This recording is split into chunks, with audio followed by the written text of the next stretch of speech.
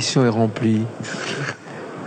Jean-Paul, la mission est remplie parce que ton film, il est magnifique. je l'ai pu le voir au moins 20, 30 fois parce que je l'ai accompagné dans beaucoup d'endroits. Je l'ai même accompagné à l'École nationale de l'administration pénitentiaire à Agen, où les gens euh, avaient constaté les changements de comportement des prisonniers à partir du moment où ils nourrissaient correctement. Il y avait une nourriture équilibrée. Donc c'est vous dire à quel point, mais ce film, c'est vraiment un film euh, culte. Culte. Non, c'est le mot. Hein, c'est le mot. C'est le mot, Jean-Paul. Moi, celui-là, d'abord, il, il, fut l'un des premiers à, à, être diffusé sur ce sujet. Il était très courageux déjà parce que euh, oser aborder euh, ces problèmes des pesticides. Vous savez que c'est encore un sujet tabou. Hein. Les agriculteurs s'empoisonnent et se détruisent, se tuent, hein, mais ne veulent pas reconnaître. Il ne faut pas en parler. Reste toujours l'omerta. D'ailleurs, il y a maintenant des organisations d'agriculteurs qui se sont constituées pour euh, euh, faire un système de défense, mais ils sont très très malmenés, malmenés ou menacés. Hein. Ils le disent d'ailleurs. Voilà. D'ailleurs, c'est dans ton deuxième film, celui de Séverne, que oui. Euh, il y a eu ce, ce, genre de séquence qui montre à quel point les gens s'assassinent littéralement, mutuellement. C'est pas croyable, quoi. On se dit, mais où on est? Qui a pu leur mettre dans la tête qu'on peut, on peut pas se passer de pesticides, qu'il doit absolument, on doit absolument utiliser les pesticides? Moi, ça fait 40 ans que on n'a pas connu les pesticides. On a des récoltes qui sont tout à fait convenables. Euh, et quand on prend maintenant les, fermes, par exemple, comme ceux qui sont en permaculture, euh, je parle du Bec et Loin en Normandie, euh, où ils vont tirer 50 euros du mètre carré, ça veut dire 50 000 euros pour 1000 mètres carrés. Oh, c'est pas grand chose, 1000 mètres carrés. Ça veut dire 500 000 euros à l'hectare en faisant du maraîchage et en prenant, euh, en prenant euh, modèle sur les pratiques des maraîchers parisiens du 18e et du 19e siècle. Quand on raconte ça, euh, on a l'impression de venir d'une autre planète. Ça existe, il suffit d'aller regarder et d'essayer, ça marche. Et les pesticides vont continuer à tuer les sols et à tuer les gens. Voilà. Je suis abasourdi, moi, que... Y a et à tuer les oiseaux aussi. Oui, tout, tout ce qui vit, quoi. Tout le vivant. Tout le vivant. Tout le vivant. Je pense qu'il y aura des, grands procès. Il y aura des grands procès un jour, euh, crimes contre l'humanité. Je suis à peu près convaincu. D'ailleurs, ça commence à bouger beaucoup. Le tribunal pénal international se prépare sur ces sujets parce que euh, ces crimes contre l'environnement sont en fait des crimes contre l'humanité. Voilà. Vous avez sûrement des questions. On, attaque fort, c'est vrai, mais. Oui, je vais. Je vais euh, Oui, madame.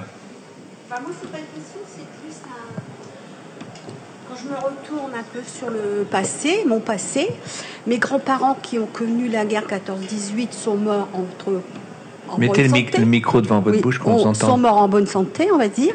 Mes parents qui ont connu 39-45 sont morts en bonne santé. Encore Moi, ma génération, 1968, pour faire bien. eh Pourquoi vous riez C'est très sérieux, 68. Oui, oui, mais je, suis d'accord avec vous. Début d'une euh, grande révolution. Donc, toujours est-il qu'autour de moi, mes amis, ma famille, donc les gens qui ont maintenant 60, 70 ans, sont morts de cancer. Et malheureusement, et c'est ça mon angoisse, c'est mes petits-enfants.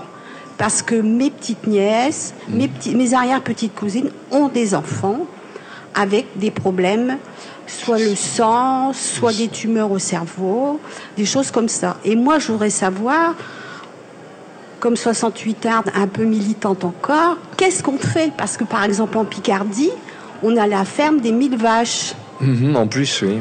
En plus. Donc on n'a pas été capable, en tant qu'association, mhm. à lutter contre les politiques qui ont accepté ce, genre de, de pratiques animales et mhm. puis tout le reste autour.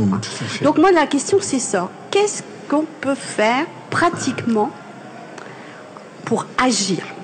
Parce que bon, on dénonce. oui, c'est facile. On, milite. C'est très facile. On, invite les copains à manger une bouffe bio, mm, mais reste après. Bah, c'est bien ça. Oui. C'est bien. c'est pas nécessaire. Mais exactement, c'est ce que j'allais dire. C'est pas suffisant. Si. Si. Alors, première des choses, c'est nécessaire. Ans, attendez. Pas là, non, non, attendez. C'est nécessaire, mais c'est pas suffisant. Je suis d'accord. Ça s'appelle voter avec son caddie. C'est-à-dire il faudrait que tout le monde prenne conscience que l'argent sonnant et trébuchant qui est dans les banques, c'est notre argent. C'est notre argent. C'est notre argent, bien sûr, à, des fortunes diverses, mais c'est notre argent. Et que ceux, ceux qui nous exploitent, ceux qui sont aujourd'hui euh, euh, milliardaires, sont des gens qui ont spéculé sur l'argent qu'on leur, donne tous les jours à des banques, comme je vous citerai pas les certaines, aussi, on peut les citer. Hein, des banques comme la BNP. Oui, et HB, oui, Société Générale. Mise en, mise en examen, là, pour. Crédit Agricole. Donc, déjà, déjà, vous pouvez mettre votre argent dans des banques plus ou moins honnêtes, enfin, au moins éthiques. Par exemple, il y en a une qui s'appelle la NEF, qui n'est pas vraiment une banque, mais enfin, vous pouvez la déposer. Crédit coopératif. Bon, déjà. Mmh. Mais au quotidien, vous pouvez le moindre euro le donner à ceux. Vous avez donné, madame, l'exemple de la nourriture bio, mais il y a, on peut aussi parler de, des carburants. Vous mettez du 95 dans votre voiture.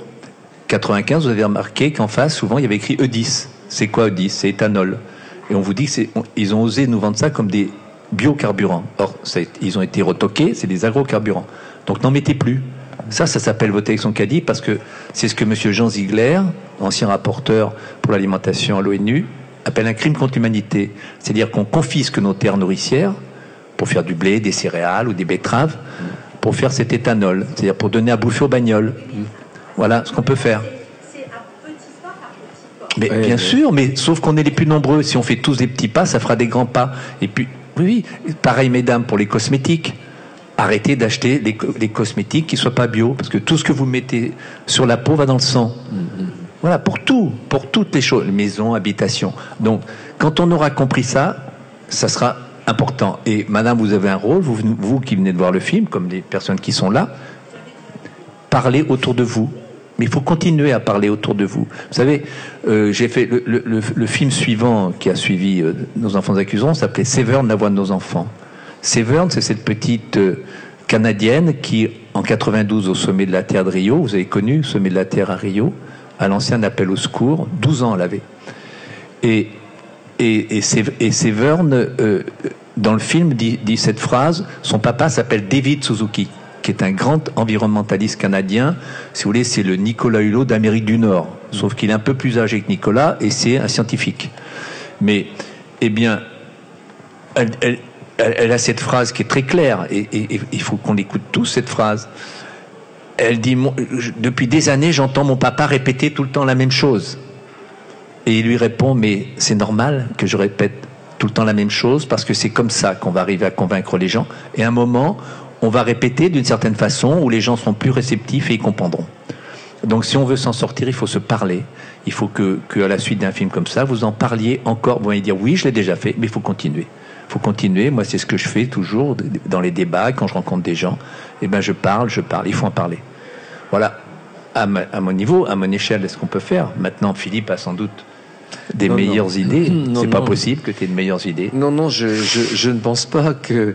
Je, je, crois que le salut viendra euh, de la base. Ça viendra de nous tous. Bien sûr. Changer nos comportements et on change la société. Mais ça ne viendra pas d'en haut, ça c'est sûr, parce que vous leur enlevez le pouvoir. Donc ils n'ont pas du tout envie de le lâcher, le pouvoir. Le pouvoir, ils l'ont par tout ce qu'on leur apporte et la, et la foi qu'on met dans, dans leur production. C'est le grand marché. Je vais vous raconter une histoire qui va complètement illustrer ce qu'on est en train de dire là. Euh, il y a quelques années, j'ai fait la préface d'un livre. On me demande beaucoup de faire des préfaces. Je fais aussi des livres. J'avais amené mon best-seller qui vient de ressortir, là, Nous redeviendrons paysans, écrit il y a plus de 30 ans. Sixième édition. J'ai pas changé un terme. J'ai pas changé un mot de ce que j'ai écrit il y a si longtemps, il y a trois décennies je m'aperçois que. Mais toi non plus, t'as pas changé, hein Non, mais j'ai pas changé. je répète toujours la même chose. Genre, je voulais simplement dire que, en dehors d'écrire les livres, je fais des préfaces et que souvent je rouspète parce que les gens qui me demandent une préface pensent pas que euh, c'est pas long de faire une préface, mais c'est il faut du temps pour lire le livre parce que si je lis pas le livre, je vais pas faire une bonne préface. Donc je lis le livre et cette fois-là, je l'ai béni la personne parce que j'ai découvert dans son livre des tas d'informations que j'ignorais. Il s'agit de Autonomie alimentaire par le jardin, écrit par Frédéric Basset, une journaliste de, euh, Paris. Et j'y découvre euh, que la femme du président Roosevelt, Eleanor Roosevelt, avait décidé de, avait créé à la Maison Blanche le premier Victory Gardens, le jardin de la Victoire, pour essayer d'entraîner ses compatriotes à, à limiter, euh, sachant que la période allait être difficile, cette période de la guerre. Euh, et donc, elle crée ce premier euh, Victory Garden, ce que d'ailleurs euh, Michelle Obama a voulu faire quand elle est arrivée à la Maison Blanche, et elle s'est fait retoquer par Monsanto. Je ne sais pas si vous avez suivi. Le... C'est assez amusant. D'ailleurs, on voit là où, est le diable. Hein. C'est, très clair. D'ailleurs, c'est plus Monsanto. Maintenant, c'est Monsanto. Je je vous le signale. C'est son, nouveau patronyme.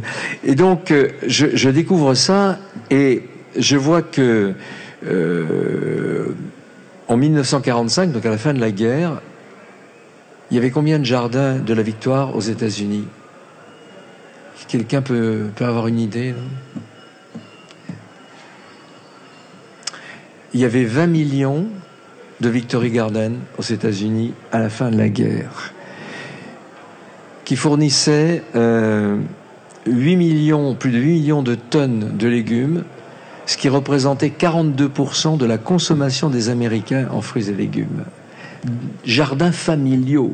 Vous avez vu un média vous parler de ça Vous dire que c'est possible, que c'est à la portée de tout le monde? Non, non, non, bien sûr, parce qu'il ne faut pas échapper au grand marché. Bien sûr, on va vous cacher toutes ces vérités.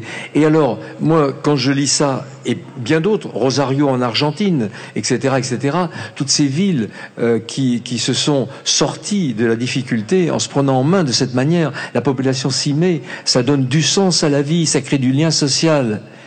C'est d'ailleurs la seule façon de, ne pas euh, de, lutter contre la faim dans le monde, et puis de protéger l'environnement. Et alors je me dis, faut que j'écrive une préface un peu originale quand même pour un truc pareil. Et je m'en vais chercher dans l'histoire. Et je tombe sur une ordonnance de Charlemagne. Le capitulaire de Willis. Allez vérifier ça sur vos ordinateurs, sur vos, sur vos, sur Internet. Vous allez voir, c'est fabuleux. Capitulaire de Willis, Charlemagne euh, recommande à toute sa population, 796 l'ordonnance, hein, comme, recommande à toute sa population, ces populations rurales, monacales, paroissiales, villageoises, de cultiver les 94 plantes essentielles nécessaires à leur bien-être, à leur santé, à leur autonomie. Essayez d'imaginer euh, François Hollande ou euh, Obama qui fait la même chose aujourd'hui dont d'abord c'est même pas envisageable. Je le dis à mes députés de, droite et de gauche, je lui dis, euh, vous vous rendez compte euh, la différence de gouvernance entre cette époque où vraiment il y avait un consensus et une solidarité, euh, un désir d'aider la population à s'en sortir. Aujourd'hui, si la société civile trouve une astuce, une idée pour vivre mieux, moins cher, autonome, en bonne santé, qu'est-ce qui se passe? Et là, il y mes députés me disaient, ouais, oui, qu'est-ce qui se passe? Tu exagères toujours. Puis, il se passe que vous voyez arriver tout un bataillon de règles et de lois plus hypocrites les unes que les autres pour vous empêcher de le faire. Je dis, ah, mais oui, mais quoi, par exemple? J'ai dit, ben, par exemple, l'interdiction du Puranorti, à ton avis, c'est pour aider qui? C'est pour aider, euh, euh, les marchands de pesticides ou c'est pour aider la population, tes électeurs?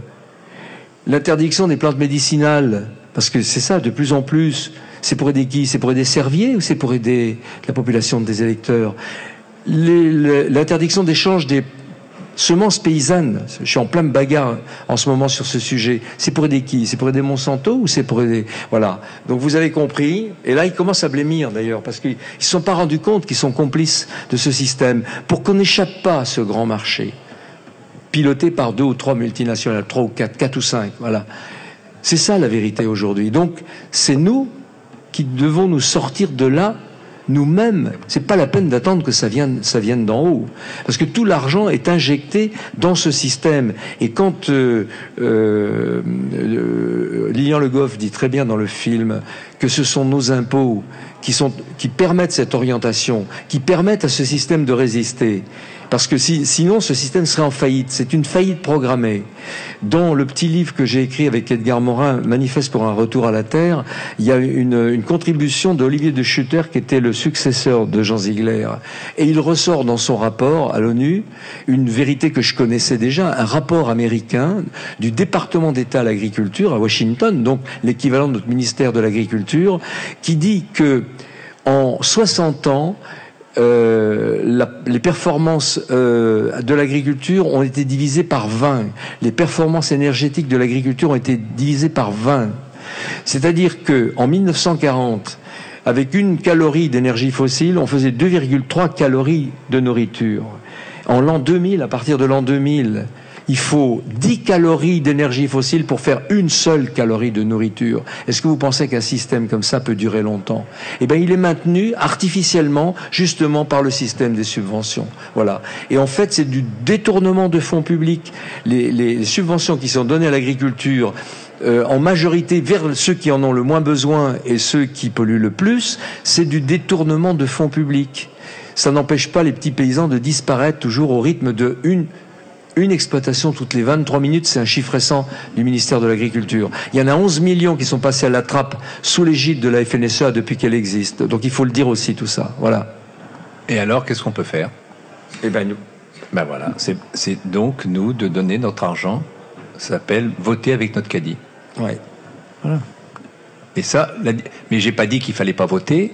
Je n'ai pas dit qu'il fallait pas faire partie d'associations ou de syndicats. Mais quand on décide d'agir, la différence entre, entre le temps qu'une loi qui soit votée ou des mesures qui soient prises, c'est que nous, on peut le faire tout de suite. Ce soir, demain, après-demain, tout de suite. On peut agir tout de suite. Voilà. Au quotidien. Voilà. Et, moi, je vois pas d'autres, je vois pas d'autres solutions. Désolé, mais il faut du temps.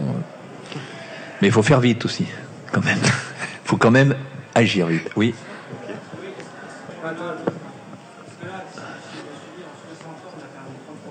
Attendez, on vous donne, on vous donne. Euh, Alors, si je me souviens bien, les chiffres euh, qui, avancés, qui étaient avancés dans votre film, c'était qu'en 60 ans, on a perdu 30% de la des terres arables, des, terres, arables sur Terre. Est-ce que le temps que les consciences euh, soient prises, est-ce que on n'aura pas atteint un point de non-retour? Non, non, mais les, les, gens ont pris conscience. Beaucoup de gens ont pris conscience. Mais vous voyez, madame, madame, vous avez déjà vu nos enfants nous accuseront. Vous avez déjà vu Nos enfants accuseront, il est sorti en 2008. Madame a parfaitement pris conscience. Et quelle a été sa première question? Qu'est-ce qu'on peut faire? Qu'est-ce qu'on peut faire? Voilà, qu'est-ce qu'on peut faire? Les, gens, les gens le savent pas. Mais ce qu'on peut faire, c'est, je vous dis, c'est prendre conscience. Ça, c'est pas difficile de donner notre argent à ceux qui sont respectueux de notre environnement, comme on dit, à ceux qui sont respectueux de nos enfants, euh, de, des générations futures. Vous êtes jeunes, voilà. Est-ce que je pense que quand les gens auront pris conscience que donner votre argent pour vous, c'est votre avenir, voilà. C'est ça, c'est simple, c'est très simple. On a encore, profitons-en, on a encore la possibilité de donner notre argent à qui l'on veut. Par exemple, moi je suis, je suis euh, pour la transition énergétique. Or, la transition, la transition énergétique, c'est l'objet de mon prochain film qui s'appelle Libre, qui va sortir le 11 mars 2015, c'est-à-dire quatre ans après Fukushima, je suis pour la transition énergétique, mais cette transition énergétique n'est possible que si on sort du nucléaire. Ce n'est pas envisageable autrement, parce que le nucléaire est une énergie fossile, entre autres. Et cette transition énergétique. Arriva est en faillite déjà. Voilà, non mais, exemple. Donc, qu'est-ce qu'on peut faire? Qu'est-ce qu'on peut faire contre le nucléaire, contre cette folie, contre ce crime intergénérationnel ultime, comme le dit la petite Severn Suzuki dans, Severn, la voix de nos enfants, crime intergénérationnel ultime. Eh bien, qu'est-ce qu'on peut faire? Eh ben, arrêter, notre, donner notre argent à ceux qui construisent des, des réacteurs nucléaires, c'est-à-dire à EDF. Vous savez, vous n'êtes pas obligé. Est-ce que quelqu'un a de l'électricité chez lui qui vient d'une autre source qu'EDF vous ne connaissez pas Enercop Énergie coopérative qui vous vend que de l'énergie renouvelable issue de l'hydraulique, de l'éolien et du solaire. Vous mm. Vous connaissez pas? Pourquoi vous connaissez pas? Mais parce que tout, tout, ça nous est imposé à force d'opacité et de mensonges. Voilà, j'avais une, une, discussion avec une amie aujourd'hui et je disais que la presse confisquait toutes ces informations vous ne savez pas qu'il y a un autre marchand d'électricité. Voilà. Et ça marche très bien. Moi, je vous en parle parce que ça fait trois ans, bientôt quatre ans que je suis chez Nercop. Il n'y a aucun problème, tout va bien. Ça passe par les mêmes lignes. C'est hein, le même réseau. Hein, tout ça est concentré dans un, dans un, par ERDF, hein, dans un fromage. Sauf que l'argent que vous donnez tous les mois, vous le donnez à ceux qui font que du renouvelable. Voilà. Vous le saviez pas. Ben voilà. Donc notez Enercop, E-N-E-R, C2OP. Ils vont s'occuper. Vous remplissez un imprimé, ça dure un quart d'heure. Ils vont s'occuper de résilier le contrat avec EDF. Et il n'y a rien à changer chez vous, puisque c'est même les mêmes tuyaux. Voilà, vous ne le saviez pas, ben voilà ce qu'on peut faire. Oui, monsieur. Oui, bonjour. Bonjour, monsieur. Euh, quand vous dites que faire, euh, je pense qu'on peut euh, ressortir cette phrase agir localement et penser globalement. Bien sûr. moi, en, en, regardant votre film, j'ai trouvé plein de choses intéressantes, comme d'autres documentaires qui ont été faits pour, bah, pour le festival alimentaire. Mais il y a quelque chose qui m'embête. C'est nos enfants nous accuseront. Et je fais la référence à Jean Ziegler euh, qui disait qu'il y a un enfant euh, sur la planète entière bah, qui m'apparaissait pas apparaître dans le film, euh, qui meurt toutes les 7 secondes. Bah, il faut là le temps de parler. Il faut que vous alliez voir Tous Cobaye pour que Jean Ziegler dise ça. Mmh, mmh. Tous Cobaye, c'est le, le mon dernier film, oui. D'accord. Et Jean Ziegler le dit. et, et, dans un film, on peut pas tout mettre. Hein. Ouais.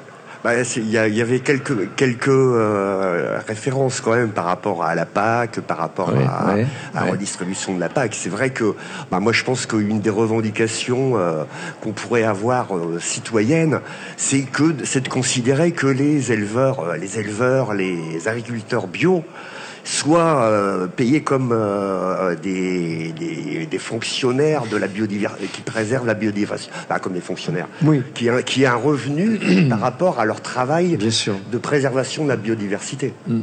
Ben, oui, mais encore une fois, si vous, êtes, vous avez entendu ce que dit Marc Dufumier à la fin du mm, film. Oui. Ça, il disait ça, c'était le, le colloque de l'Artac, hein, enfin, euh, oui, en, 2000, en 2007.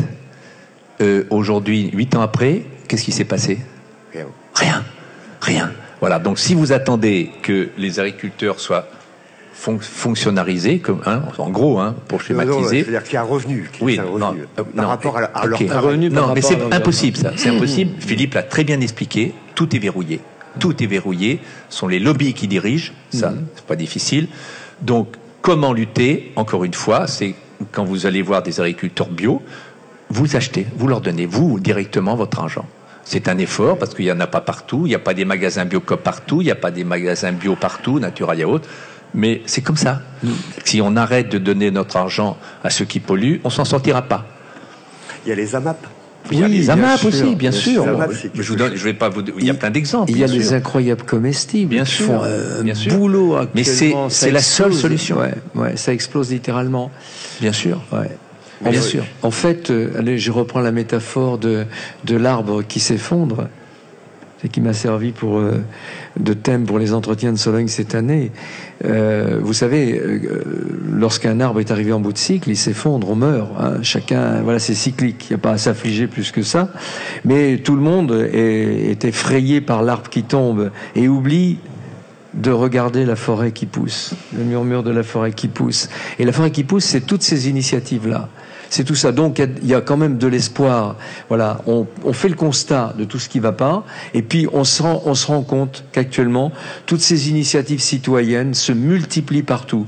Euh, en, en quelques mois, les incroyables comestibles qui étaient à 400 villes en France avec euh, des clubs incroyables comestibles, avec les municipalités d'ailleurs qui les aident, parce que là, ça, ils trouvent du sens à aider des gens qui de toute manière sont au chômage, sont dans, le, sans la déshérence, et donc ils ont intérêt à aider ce, ce, ce phénomène de, à émerger, qui va un peu remplacer les, les, jardins, les jardins fleuris, les villages fleuris, etc. Parce que là, au moins, on se nourrit en même temps. Ça crée du lien social. Donc toutes ces initiatives-là sont en train de proliférer, et c'est ça la chance qu'on a. C'est que les jeunes en particulier, ceux qui tiennent l'avenir, les autres vont disparaître. Hein. Euh, tous les tous les caciques qui nous ont qui nous ont mis les pesticides, ils vont disparaître. Mais la, jeunesse, elle a parfaitement compris ce qui se passe. Donc tout ça, toutes ces, initiatives là, euh, sont de nature à modifier l'état du monde. Tu es très optimiste. Oui, je suis quand même. Je, mais je reste un peu parce que je dois rajouter. Faut rajouter. C'est bien d'être optimiste, mais on est quand même dans l'urgence. On est dans une extrême urgence. Voilà, ça faut surtout le rajouter. Bien sûr qu'il y a des initiatives, il y a eu des changements, mais euh, quand tu fais ce film, donc de 2006-2007, l'importation des pesticides c'était 80 000 tonnes. Aujourd'hui, c'est 80 000 tonnes toujours, peut-être plus. Avec beaucoup moins de paysans. Voilà, avec beaucoup moins de paysans, avec des molécules plus fortes, voilà. plus tueuses. Voilà. Donc, euh, c'est bien sûr qu'il y a des initiatives, mais mais et t'as raison, t'as raison de, de, de, de, le souligner parce que parce que on n'est pas, on n'est pas au bord du gouffre, mais on n'en est pas loin. Mais on peut encore agir. Mais surtout, moi, ce que je vous dis, parlez autour de vous. Parlez, il y a comme ça qu'on s'en sortira. Parlez et puis votez avec votre caddie.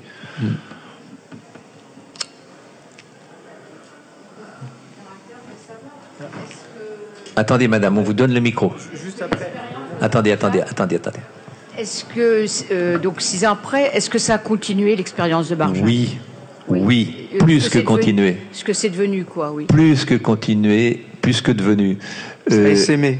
Euh, voilà, il y a une. D'abord, il y a de plus en plus d'enfants à la cantine. Le maire a été réélu, ah, ben donc plébiscité. il est conseiller général même en plus. Non, mais il était déjà conseiller général, ah plébiscité. Et ce qu'il y a eu de formidable euh, à Barjac, euh, ça a été ceci, parce que je suis retourné pour le deuxième film, faire une séquence à Barjac, deuxième film qui s'appelle Sévère, la voix de nos enfants, que j'ai là, si ça vous intéresse. Euh, il y a quelque chose de, complètement cohérent, et là on, est dans une vraie démarche, c'est-à-dire que euh, le film s'est terminé, le tournage en 2007, et à la fin de l'année 2007, il y a eu à 3 km de Barjac un domaine agricole de 120 hectares avec un magnifique bâtiment Sévenol à vendre. À vendre. Donc, euh, le maire de Barjac m'a dit Mais Jean-Paul, qu'est-ce qu'on peut faire que euh, ce, domaine va passer aux mains de l'agriculture productiviste, mmh. intensive, chimique et mortifère mmh. Qu'est-ce qu'on peut faire? Eh bien, je l'ai mis en rapport avec une association qui, est, qui, a maintenant une fondation qui s'appelle Terre de Liens. Est-ce que vous connaissez Terre de Liens? Non. Si, si, il y en a quand même quelques-uns qui connaissent. Qui, bon, et qui connaît Terre de Liens Un, deux, vous avez entendu trois, quatre, cinq, mais vous, vous trichez. voilà. Euh, euh, voilà, donc euh, Terre de Liens, c'est une association qui... Parce que quel est notre problème aujourd'hui dans notre pays C'est le foncier. Le foncier, pour un jeune agriculteur en bio qui veut s'installer, ou même un jeune, peut pas. Tout ça, c'est confisqué. Hein. Ce qui est spéculation. Spéculation, avec comme complice la, la SAFER, les chambres d'agriculture. Eh bien, eh je vais vous donner cet exemple parce que voilà pourquoi aussi je me bats pour faire des films. Donc, euh, évidemment, ce domaine était à vendre et très vite, très vite, quatre agriculteurs en agriculture conventionnelle, moi que j'appelle chimique, quatre agriculteurs avaient préempté. Quatre. Ils s'étaient partagés les 120 hectares. Le bâtiment, la ferme Sévenol, euh, elle aurait été vendue à un, comment, un promoteur immobilier qui aurait fait qui aurait vendu ça, je ne sais pas qui, qui aurait fait ses choux gras, et eux, ils auraient exploité, je dis bien pas cultivé, pas nourri le sol, mais exploité ces 120 hectares. 120 hectares, ces gens sont subventionnés à l'hectare, donc c'est tout ce qui les intéressait. Et puis, monsieur, on, en parlait, je, je voulais vous répondre là-dessus, je vais revenir, je vais essayer de revenir.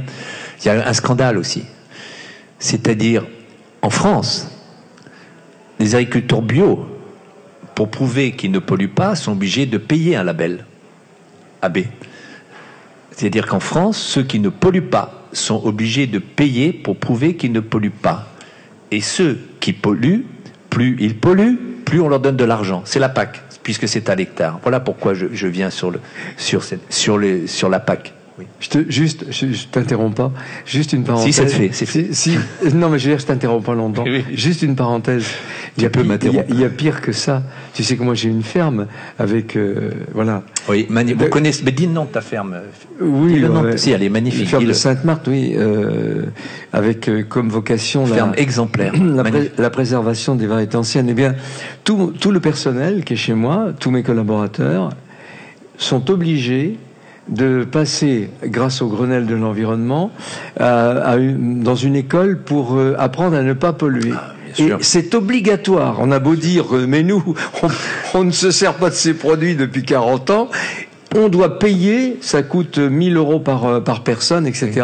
Et on doit participer à ça. C'est invraisemblable. Ne pas polluer, c'est quand même, je suppose, euh, attends, rassure-moi, c'est quand même euh, balancer des pesticides, oui, mais moins, quand même, moins, quand même, moins, moins, Mais il y a toujours 80 000 tonnes de pesticides, donc qui en balance moins Avec des précautions. Donc c'est une arnaque. Voilà, raison. On, as est, raison. on est dans un monde de fous. T'as raison. Non, mais c'est intolérable.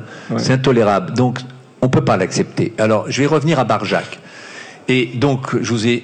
Parce que là, on a le fonctionnement encore. Mais je vais être rapide, je vais essayer d'être rapide. Donc, ça y est, quatre agriculteurs, c'était. C'était réservé, réservé l'achat de, de, de cette propriété. Et donc, moi, j'ai dit au maire d'Arjac, je je l'ai mis un rapport avec Terre de Liens, donc les choses commençaient à avancer. Et j'ai dit, voilà, maintenant, tu vas organiser, tu vas organiser euh, à la mairie de Barjac un rendez-vous avec la SAFER. Hein, vous savez ce que c'est que la SAFER, c'est ceux qui, qui, qui, décide, qui décide du, des ventes hein, des, des, terres, des, terres, agricoles, des terres nourricières, avec la chambre d'agriculture, enfin les agriculteurs, les agriculteurs bio du coin qui et des jeunes qui éventuellement sont des candidats potentiels pour euh, Terre de Liens, pour euh, être candidats, et eh bien et puis ben, ben, les agriculteurs chimiques du coin. Donc il y a eu cette entrevue, c'était très intéressant, c'est important de parler. Donc tout le monde a, exposé, son avis. Et, moi, je suis intervenu à la fin. J'ai dit voilà. J'ai fait un film qui s'appelle Nos enfants nous accuseront à Barjac. C'était une expérience formidable. Ce film a eu un succès puisque c'était c'était donc un an après la sortie du film. Euh, j'ai dit voilà, moi je tiens à faire la suite de l'histoire de Barjac. Mmh. L'exemple qui est donné de ce domaine à vendre, là on est complètement dans la cohérence environnementale, écologique. J'ai dit, moi, je rendrai scrupuleusement compte dans ce film euh, comment s'est fait l'achat de cette propriété. Ah, là, tout a changé. C'est-à-dire que revirement de la Chambre d'agriculture, du président de la Chambre d'agriculture, qui a décidé d'aider finalement Terre de Liens et Barjac à acquérir ce domaine. Donc, vous comprenez la force d'un film? Pour le mettre en bio, hein Bien sûr, puisque Terre de Liens achète des terres nourricières pour les cultiver à vie en bio. Et ces terres ne pourront être, euh, n'avoir aucun rôle autre que faire de l'agriculture bio, c'est-à-dire respectueuse de notre écosystème. Voilà. Donc pourquoi je me bats pour faire des films pour le cinéma? Parce que ça a quand même une force. Alors on peut dire oui, mais les films environnementaux c'est confidentiel. C'est pas vrai. À la suite de ce film, il y a des municipalités qui ont changé. Saint-Étienne, Marseille, ont décidé de passer les cantines en bio. Mais malheureusement, qu'est-ce qui se passe? Comme on ne fournit pas assez, il y a combien de terres exploitées en enfin cultivées en bio en France? 4-5% euh, Aujourd'hui, à peine. Oui, oui, 4 5 à peu près, ouais. Donc on importe 50% du bio. Ce qui est absolument pas normal, puisque la France, plus, grand, plus grand pays agricole d'Europe, mm-hmm. troisième puissance agricole au monde, hein, je crois, mm-hmm. on est obligé d'importer 50% du bio. Voilà. Donc, Barjac, madame, pour répondre à votre question, est entré, c'est exemplaire. Ils sont rentrés. Donc aujourd'hui, il n'y a pas, parce que sur ce, domaine, il y avait un agriculteur, tout seul, qui faisait de l'agriculture intensive, blé et maïs. Point. Et aujourd'hui, il y a cinq agriculteurs sur ce domaine de 120 hectares.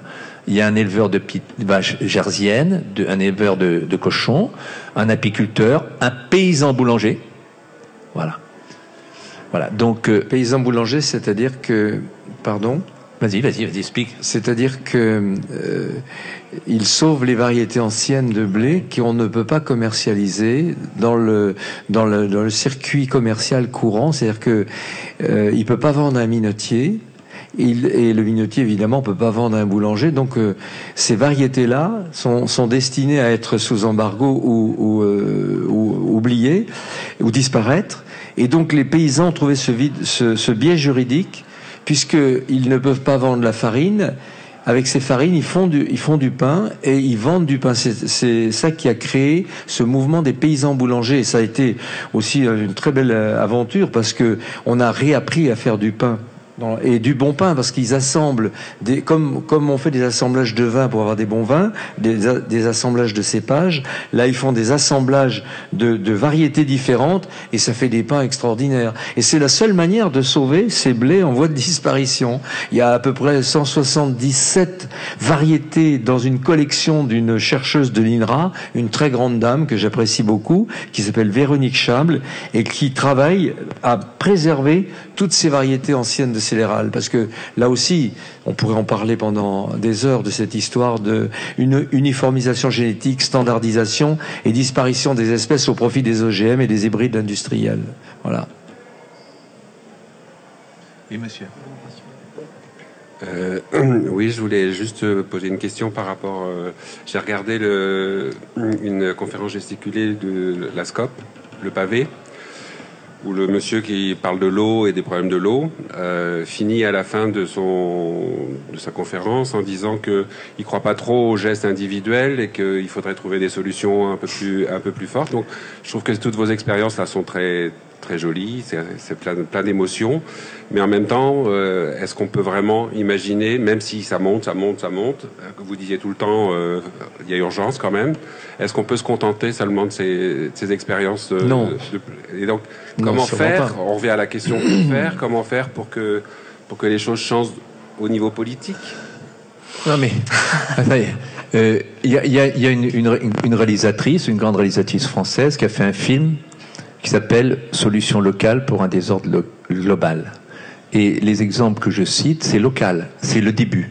Ça aussi, c'est la condition nécessaire et non pas suffisante, mais nécessaire. C'est un passage incontournable. Il faut commencer localement.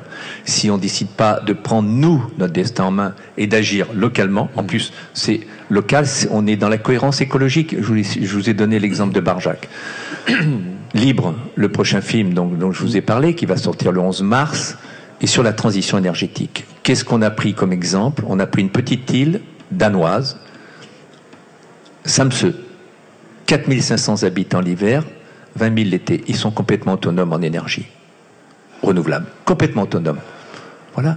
Barjac pourrait être, suivre le même exemple, être complètement autonome en énergie renouvelable. Déjà, c'est colossal. Euh, le local, il faut refuser la centralisation, ça ne marche pas. Hmm. Ça ne marche pas, la centralisation. Et la centralisation, c'est le monopole, et le mot libre n'existe pas. Alors que local, on retrouve la liberté. Il y a en Bretagne des associations qui, dans leur commune, ont acheté des éoliennes ont réuni leurs économies et sont en train d'installer des éoliennes en Bretagne.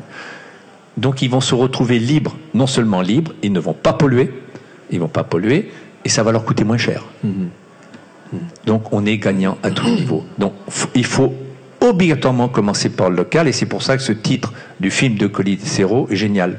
C'est le, le, titre que j'aurais aimé trouver. Il est absolument fondamental. Mm.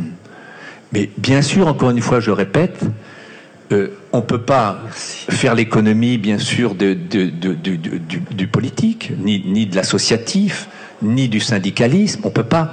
Mais localement, l'acte individuel peut se réaliser tout de suite. Mais il faut parler, il faut communiquer entre nous. Bonjour à tous. Donc, euh, je vais rester très local en fait. Mhm. très localement, le message ici est très mauvais. Vous n'êtes pas sans savoir qu'il y a l'affaire des mille vaches, oui, ferme des mille vaches. On la connaît, oui, on connaît. C'est une catastrophe. Enfin, ça, ça, ça, va être une catastrophe. Les gens ne se rendent pas encore compte. Oui, mais la majorité ne se rend pas encore compte vraiment. Mais ça va réveiller les consciences aussi. Oui, bah, on verra. On verra. Je suis que très moyennement optimiste, moi, pour ne pas dire plus. Euh, mais attendez, je, me permets de vous contredire parce que M. Belin, président de la FNSEA, a une interview récente, il a dit non, attendez, il n'y a que 500 vaches pour l'instant. Oui. Pour Donc, ne vous inquiétez pas, si M. Belin dit qu'il n'y a que 500 vaches, il n'y en aura pas plus. Soyez pas inquiets parce que M. Belin, on peut le croire. Non, mais il plaisante là. Non, mais oui, j'ai pas une haute estime de la FNSEA de toute non, non, manière. Mais, bien sûr, euh, je suis d'accord avec vous. Je veux dire, localement, le signal, à l'heure actuelle en tout cas, est très mauvais. Quoi. Quelque part, euh, enfin, étant amiénois, Ville, c'est tout proche, c'est à côté. Hein. Euh, donc, euh, ce symbole-là, quand même, on, là, on se dit, on va pas dans la bonne direction malgré tout. On a l'impression que c'est quand même. Voilà, alors très individuellement, effectivement, il se passe des choses, des choses intéressantes, des, choses qui vont dans le bon sens. et on a l'impression qu'au contraire, d'en haut, on part d'en haut et on balance la grosse mauvaise idée que tout le monde n'a pas envie en fait. Hein. Et, euh, et, donc on, on, vous met ça de force et après on vous fait passer dans pour des pseudo-terroristes parce que vous osez manifester. C'est juste hallucinant. Donc euh, c'était pas vraiment une question, c'était plus un, un œil très critique et acerbe par rapport à ce qui se passe aujourd'hui. Voilà, merci. C'est très gentil, c'est très bien de l'avoir fait. Voilà. Mais euh, on, sent que ça bouge, on est rassuré aussi. Oui, alors encore, encore une fois, ne soyez pas désespérés parce que toutes les révolutions ont été faites par des minorités. Voilà, ça n'a jamais été le très grand nombre qui faisait le, changement.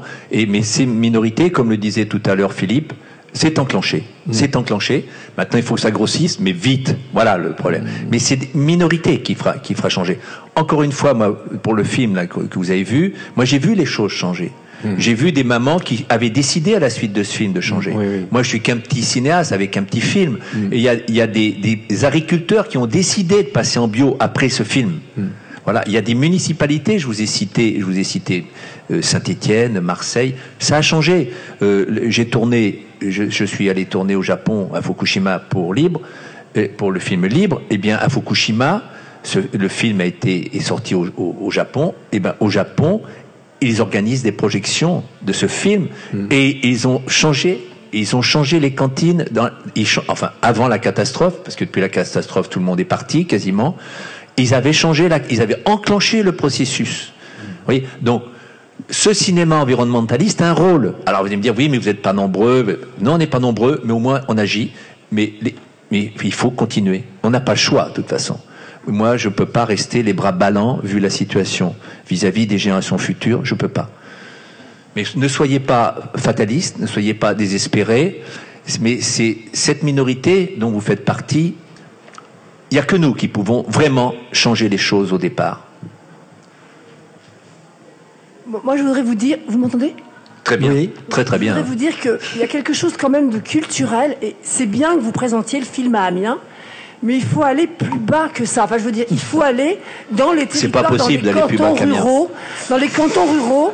Après ce que j'ai entendu, c'est pas possible. Mais non, mais parce que moi j'ai le sentiment que euh, le, la Picardie, enfin dans la Somme, il y a une espèce de modèle moderniste productiviste. Pas moderniste, c'est culturel, c'est culturellement installé que les agriculteurs ont fait du chemin par rapport à leurs parents et qui vont encore faire du chemin parce qu'il y a le crédit agricole, parce qu'il y a les normes, parce qu'il y a les autorisations, et euh, ils imaginent pas autre chose, quoi. Bah oui, mais ils n'imaginent pas que vous existez, qu'on existe. Donc je pense qu'ils ont conscience qu'il y a des problèmes de santé. Et il faudra aller le montrer dans le vimeux, il faut aller le montrer dans le santerre, là où les agriculteurs sont peut-être en train de prendre conscience, mais ils sont aussi dans cette espèce de schéma euh, avec la chambre d'agriculture, avec le conseiller technique agricole. Le conseiller technique agricole, ma belle-mère, elle était agricultrice, elle a eu la première stabulation de tout le Vimeux. Elle était très fière et c'était son référent. Hmm. Et lui, il avait été formé aux États-Unis. vous savez, euh, moi, moi, je, je, je, dis, je dis quel constat on peut faire aujourd'hui à propos des, des agriculteurs? Ils sont endettés. Ils sont endettés. Ils sont malades ils se suicident. Vous savez, 400 agriculteurs se suicident tous les ans. Vous multipliez par deux parce qu'il y en a 400 autres qui se suicident, mais c'est déclaré comme accident du travail. Donc c'est 800. Leurs enfants sont malades. Leurs enfants sont. Vous avez entendu ce que dit le professeur Sultan, dans le film. Et ça s'est aggravé. C'est horrible. Les enfants sont malades. Mais il y a une chose terrible, c'est qu'on leur a supprimé le savoir. Hmm. On leur a supprimé le savoir. Et moi, je vais vous donner un exemple. Un jour, au cours d'un débat, il y a un médecin qui prend la parole. C'était à Rambouillet, c'est-à-dire au port de la Beauce. Hein. Rambouillet, c'est au port de la Beauce. Donc là, on a l'exemple, hmm. tu connais bien, Philippe, hmm. de, culture chimique mortifère. Eh bien, au port de la Beauce, il, dit Moi, j'ai un ami, son petit de deux ans est décédé. Il est décédé des pesticides que son papa passe dans, dans ses champs de blé. Et il dit Je suis allé voir mon pote. Je lui ai dit Mais tu veux pas changer d'agriculture? Tu veux pas changer d'agriculture? Il dit, il s'est effondré en larmes dans mes bras. Et il m'a dit, je ne sais pas faire une autre agriculture. Mm. Alors tant que on changera pas dans nos lycées agricoles l'enseignement, mm. ça va être difficile. Mm. Ça va être très difficile. Les jeunes, ils sont, ils sont formatés, ils sont, ils sont complètement endoctrinés hein, Philippe C'est ça. Je sais pas quel qualificatif. c'est le mot, c'est le mot. On peut, on peut employer. C'est le mot. Ils sont endoctrinés. Il faut partir de là. Il faut partir de là. Mais bien sûr, il faut leur parler. Et il y a, y a, je peux vous dire, moi, il y a des agriculteurs qui venaient, hein, des, des jeunes agriculteurs qui venaient au débat, qui disaient mais si moi on m'aide, si on m'aide à changer, à, changer, à, passer en bio à la conversion, c'est-à-dire financièrement, parce qu'on sait très bien que c'est une autre agriculture et que les productions ne sont pas les mêmes. Si on m'aide, je passe, je passe. Ils sont tout prêts. Même un jour, dans un débat à Aubergenville, dans, dans les Yvelines, il y a le président de la FNSEA Île-de-France qui est venu. Président de la FNSEA Île-de-France.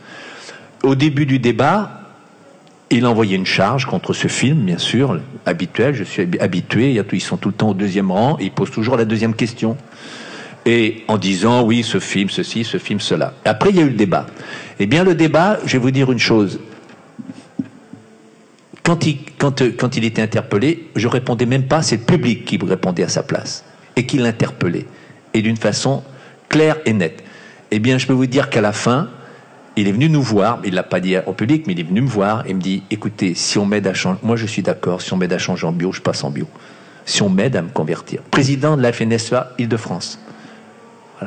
Ça veut dire quoi? Ça veut dire que prenons la parole et manifestons, manifestons, manifestons, euh, manifestons, exprimons-nous et ayez confiance en vous.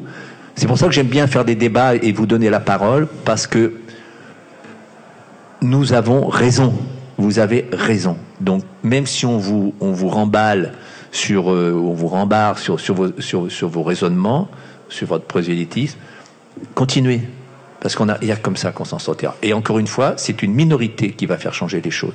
Les choses ont, changé, elles ont bougé. Moi, je constate depuis, depuis maintenant six ans, je vois bouger. Philippe aussi. oui, non, mais c'est certain. Mais vous, vous, avez dit une chose tout à l'heure, comment on peut les faire changer? Il faut aller voir les agriculteurs. Ça, j'y crois pas du tout. Ils sont, il vient d'expliquer pourquoi c'est impossible.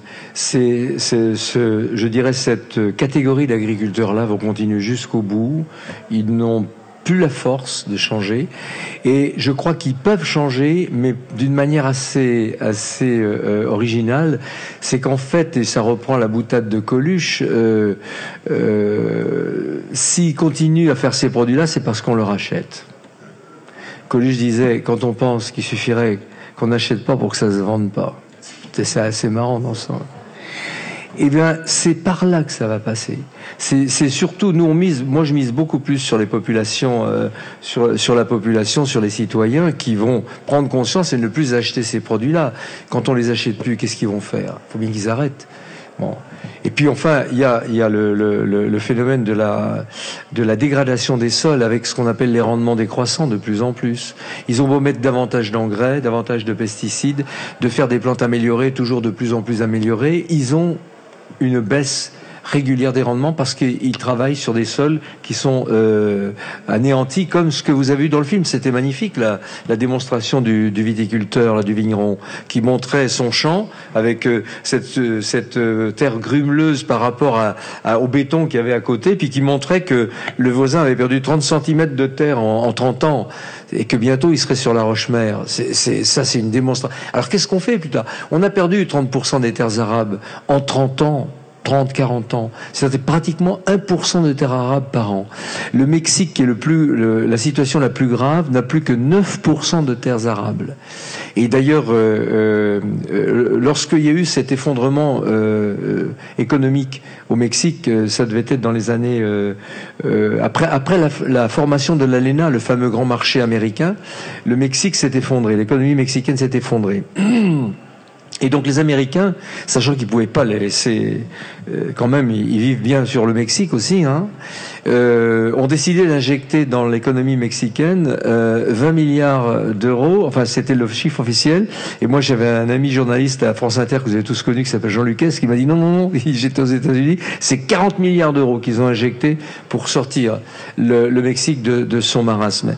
Et les agriculteurs, le gouvernement mexicain, à ce moment-là, a demandé aux États-Unis de bien vouloir convertir une partie de cette manne en 3 millions de mètres cubes d'eau du Rio Grande parce que depuis des années, souffraient d'une sécheresse euh, catastrophique qui anéantissait leurs élevages, leur, euh, pisciculture, etc.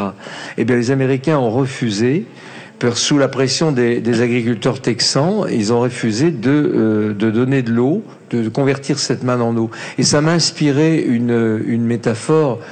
Euh, ça m'a inspiré une métaphore. Tout cet argent, tout cet argent accumulé dans des coffres forts, ça vaut pas un verre d'eau quand vous crevez de soif dans le désert.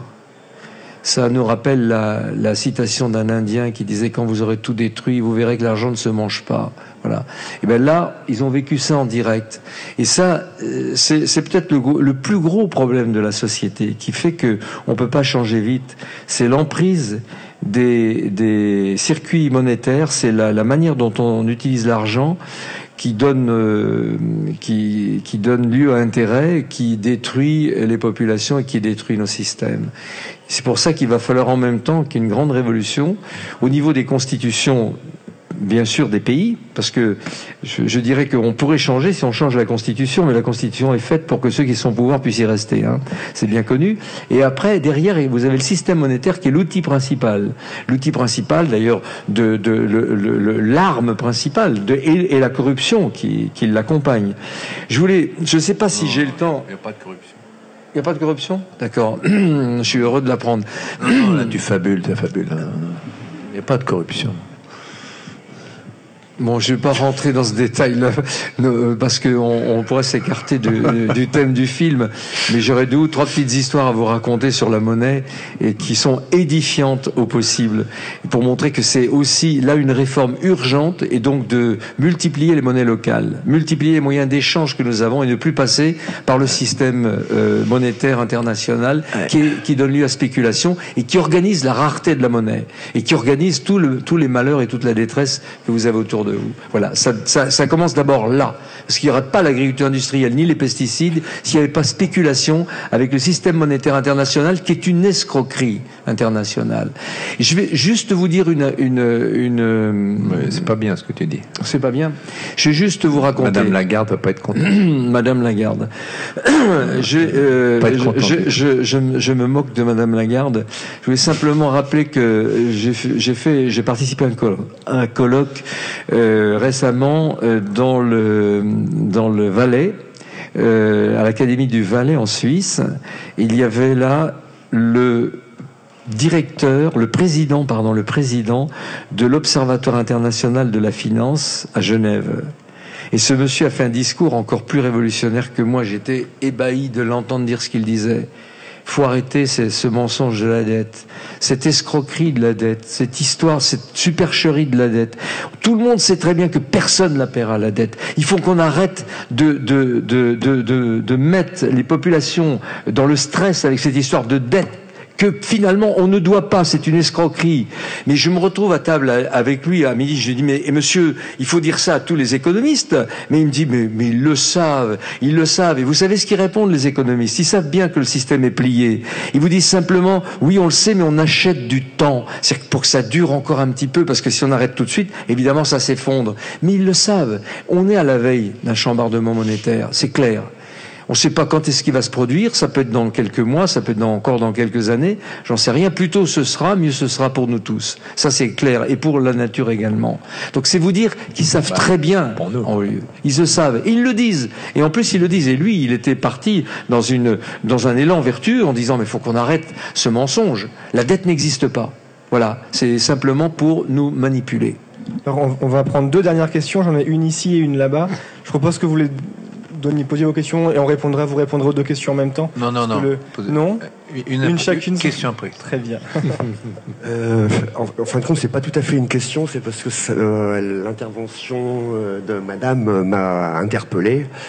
Dans la mesure où moi aussi, je suis fils de petits paysans, 23 hectares en location, il y a quelques décennies. Où ça, ici? Neuf enfants, oui, oui. Dans, la région? Dans la région. Et euh, pour dire par rapport à, l'évolution de l'agriculture, Euh, bon, même si en 74 j'ai découvert le verre d'eau de René Dumont et que j'ai été convaincu, euh, les agriculteurs à une époque, donc mes parents, ils avaient 23 hectares. Ils avaient le choix. Ils avaient, ils avaient, ils avaient pas le choix. Ils vivaient très pauvrement, très chichement, très sobrement, si on peut dire. Et ils ont été les premiers, tout premiers dans la région à faire un poulailler euh, industriel. Mmh. Euh, ce qui a permis euh, bah, d'envoyer euh, leurs enfants à l'école, à l'université, mmh, mmh, a permis d'avoir une voiture, d'avoir une machine à laver, etc. Et ça, c'est une période vachement importante pour les agriculteurs. Et ceux qui restent, parce que maintenant ils sont pris, tous ceux qui font du poulet industriel, ils sont pris à tra comme ils, du travail sont broyés, broyés par la machine, par le crédit agricole, etc. C'est infernal. C'est vrai, mais il faut quand même penser que c'est pas de leur faute, quoi. Je veux dire, ils, en plus, actuellement, ils sont victimes.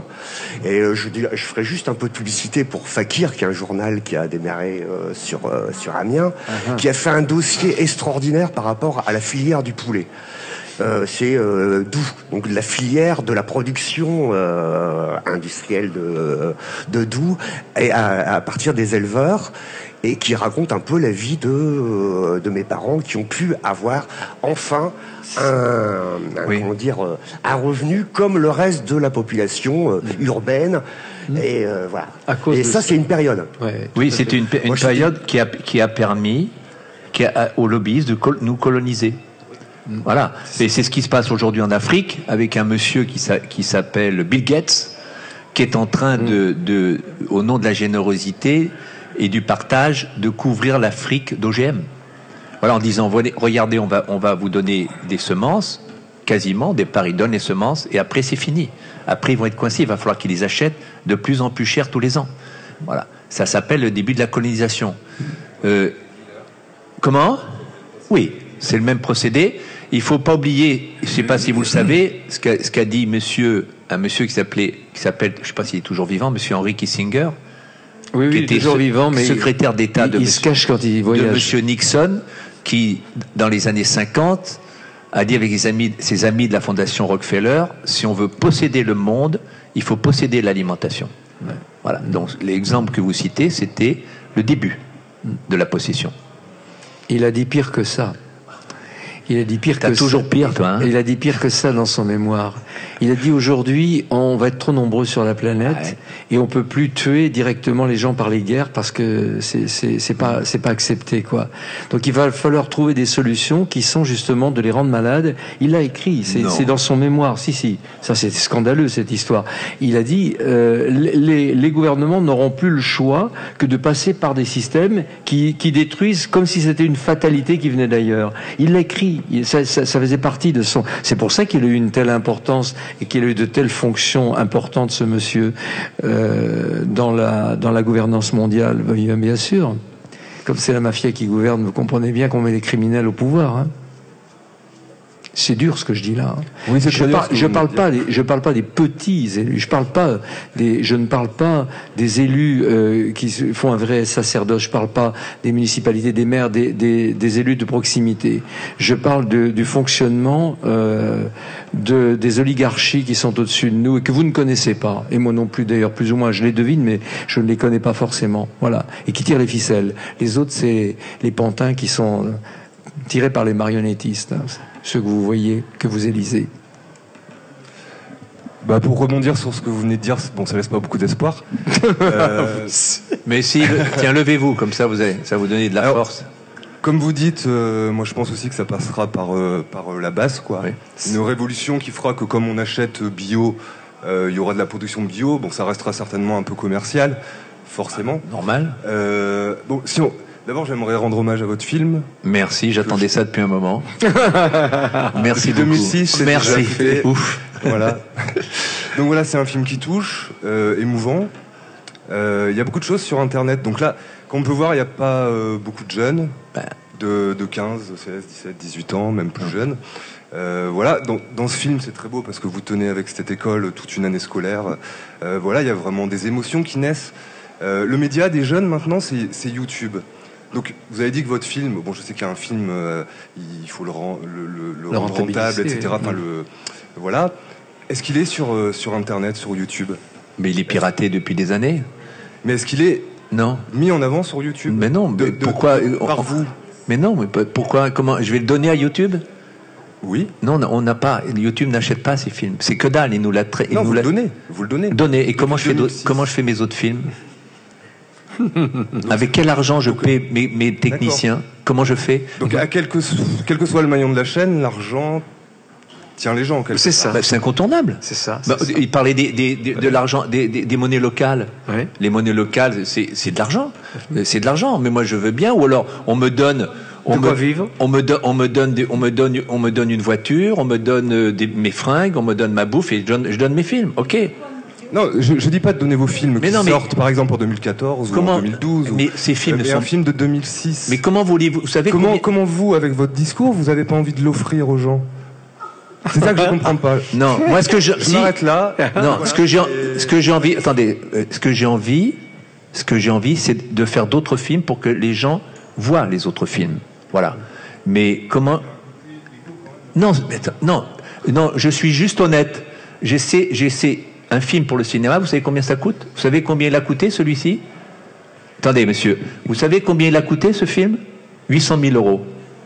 Comment je fais? Comment je fais? Ok, je vais vous donner mon film et, comment je fais un film suivant? J'en fais plus. Je fais plus de films. Alors, est-ce que vous voulez? Mais les films qui ont un certain âge, vous savez combien de temps il faut pour amortir un film comme celui-ci? Il faut, il faut 10-15 ans. On l'amortit avec les DVD, les DVD, on n'en fait plus. Vous savez, mon dernier film, là, qui s'appelle Libre? Quelle subvention? Si, j'ai des subventions. Mais bien sûr, heureusement. Comment? Attends, prenez un micro parce que sinon, euh, c'est intéressant. Notre, dialogue est intéressant. Mais allez-y. Les gens qui s'offusent, franchement, moi, c'est pas le but. J'essaye de réfléchir mais oui, au truc. Voilà, il faut qu'on en... Je vais vous expliquer, mais, prenez le micro et on en parle. Allez-y.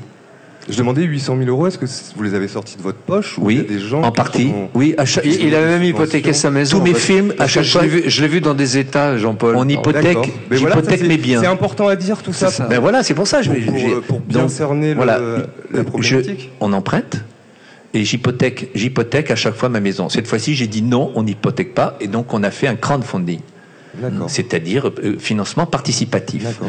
Euh, parce que ce film est, entre autres sur la transition énergétique, et je vous ai bien dit que la transition énergétique ne peut se faire qu'en sortant du nucléaire. Donc je m'attaque au nucléaire, comme Tous Cobaye, le film précédent, et les collectivités qui m'aidaient, pour vous citer Région Poitou-Charentes ou Île-de-France, cette fois-ci ne m'ont pas aidé. Et pourquoi? Vous comprenez vous êtes confronté à des difficultés euh, ben, Bien sûr, m'ont pas, m'ont pas, aidé. Moi, je vais vous tout, tout vous dire. Je, je, fais mes films parce que je suis un des pionniers de Canal+. Donc j'ai j'ai fait d'autres choses sur Canal et j'ai gardé des bons termes avec Canal. Et donc Canal préachète mes films, préachète mes films. Mais il est préachète, ça veut dire qu'il ne paye, il ne paye, on touche l'argent, on touche l'argent qu'une fois que le film est sorti au cinéma. C'est-à-dire que là, le film libre va sortir. Il faut de la distribution. Voilà, va sortir, mais j'ai pas cet argent pour le faire. Et il n'a pas la distribution non plus. Et j'ai pas. Alors, il a pas le crowdfunding qu'on a fait, le film on a pu le fabriquer, mais on veut le distribuer puisque les distributeurs. Voilà, donc on est, ça s'appelle la liberté, l'autonomie. Donc, mais pour le distribuer, il nous faut 200 000 euros. 200 000 euros. Si on veut distribuer dans les salles de cinéma, les vendre le vendre à l'étranger pour communiquer, il faut 200 000 euros. Donc on a fait un financement participatif qui doit s'arrêter normalement à la fin du mois. Et aujourd'hui, on est un peu plus de 60%. Donc ça veut dire qu'on on va le distribuer, mais pas de façon idéale. C'est-à-dire, qu'est-ce que vous voulez qu'on fasse devant tous les, grands blockbusters, Qu'est-ce qu'on peut faire? Non. Mais c'était 200 000 pour qu'on euh, le distribue. Euh, correctement. Mais là, vous avez un rôle, il faut en parler. Et vous pouvez participer au, financement participatif. Hein, c'est 5 euros, 10 euros, euh, même plus. Et à chaque fois, il y a, y a quand même des compensations. Bon, vous verrez, j'ai des, des cartes postales, vous verrez sur le site. Mais aujourd'hui, voilà ma situation. On vend plus nos DVD sur, sur puisque Internet, tous nos films sont piratés, on les vend plus. Donc on a, on a plus de. Et si on distribue pas, distribue pas nous-mêmes nos films, eh ben, c'est peut-être Libre et peut-être le dernier film que je ferai. D'accord. Voilà la situation. Merci pour ces précisions. Hmm. On va, on va devoir arrêter. Je vais rebondir pour passer aux remerciements parce que si c'est important de diffuser votre message, Euh, je voudrais donc remercier les gens qui ont permis cette euh, soirée d'être possible. Tout d'abord, remercier l'association epam-tv.com, qui donc est une association qui, en temps normal, organise des conférences et les films mhm. pour les diffuser gratuitement sur Internet. Cette fois-ci, il y a un film qui a précédé. remercier bien sûr le Festival du film d'Amiens qui a pu intégrer euh, la, proposition des, des, EPAM dans leur programmation, dans le cadre euh, aussi de Solidoc, le, festival du film solidaire du Conseil régional de Picardie. Euh, remercier l'association Bulldog qui a filmé cet entretien. et donc justement tout bien filmé, j'espère. très bien filmé. Et l'intérêt, justement, c'est que cette, cette, ces échanges pourront être diffusés gratuitement sur Internet. Et même si tous les gens qui ont vu le film ne sont pas venus aux échanges, ils pourront tous se rattraper. Et c'est bien l'esprit des EPAM. Euh, remercier donc l'association Bulldog et remercier enfin les financeurs de, de cette soirée. D'abord le conseil régional de Picardie. Euh, et puis ensuite, Barbara Pompili, la députée de la Somme, qui, a, qui nous a aidé financièrement pour monter cette, euh, cette soirée. Voilà. Et surtout, bien sûr, merci à vous, Monsieur Jo, pour, pour, pour être venu à Amiens pour cette projection, pour ce temps d'échange. Et merci euh, aussi beaucoup, Monsieur Desbrosses, là, pour, le, pour l'animation du débat qui en a suivi. Et puis, merci à tous pour votre présence. Au moins, vous avez des élus dans le coin qui ne, sont, qui ne rentrent pas dans le cadre de ceux que je critiquais sévèrement tout à l'heure. Hein. Voilà. C'est ce que j'allais dire. C'est ce que j'allais dire, notamment, euh, vous parlez du, du conseil euh, régional, enfin de la région, hein. et vous avez, vous avez un vice-président qui est, qui est dans le film. Vous avez vu dans le film, il y a un vice. François Veilleret. Oui, François Veilleret. Mm. Donc, euh, monsieur, ne soyez pas trop, trop inquiets. Il y a un monsieur qui s'appelle François Veilleret, et je peux vous, vous, vous dire une chose. Vous l'avez vu dans le film? Euh, j'ai un, un, un, ami qui, d'un ami, hein, le frère d'un ami qui voulait s'implanter en bio euh, dans la région Paris, Île-de-France.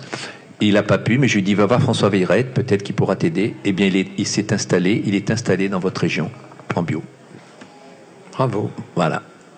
Donc, conclusion. ne désespérez pas. merci. Merci. Voilà, merci à vous. Merci, euh, merci, Philippe. C'est un honneur que tu sois venu présenter ce oh, film. Non, n'exagérons pas. C'est vraiment un honneur et un grand plaisir. Il y a peut-être une chose qu'on a oubliée c'est de, c'est de rendre hommage au professeur Bellepomme. Oui, au professeur Bellepomme que vous voyez dans le film. N'a pas pu être là, qui devait être avec nous, qui m'a appelé. Il était très ennuyé. Il est très fatigué parce qu'il a encore organisé un colloque. C'est l'anniversaire de l'appel de Paris. Il y a quelques jours. Ça. Et donc, c'est, il, est lu aux, prises aussi avec des choses terribles. Et donc, il a été, il était très fatigué. Voilà. Et je comprends qu'il qu'il ait dû faire passer sa santé en premier. Voilà un médecin doit s'occuper aussi de sa santé.